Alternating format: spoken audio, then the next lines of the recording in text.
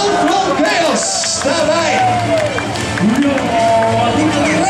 Afstelling van de wagen net toch iets zwaarder als gedacht. Want het was niet niks dat nog gevraagd had een busje daar weg mocht. Aan het einde van de baan, want hij had intenties. Hij had intenties.